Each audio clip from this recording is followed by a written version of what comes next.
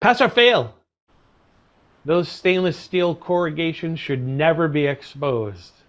If you know how to do CSST and you've got properly trained by the manufacturer, you shouldn't even be cutting that much jacket off of the CSST. Yeah, it's a little bit of a pain. I get it. But you only should be cutting that jacket back three corrugations. Rich Bay, what do you have to add to that?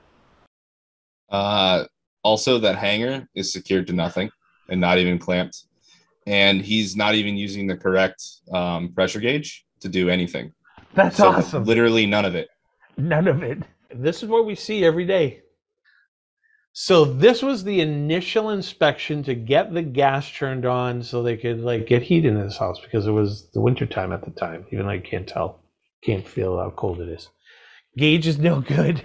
What should it have been? It's a five pound gauge in tenth pound increments. Yeah, in one tenth pound increments right away.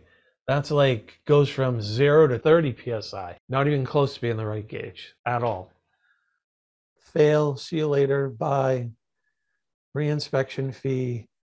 Next picture is going to be the return inspection. The hanger's still missing a screw. The hanger's not even anchored into the floor. This was the inspection that cost this dude money and got a complaint filed against him. If you can't tell, he taped it with what? Electrical tape. It's electrical tape, not the approved jacketing material provided by the manufacturer. Um, and oh yeah, by the way, he wasn't certified. So yeah,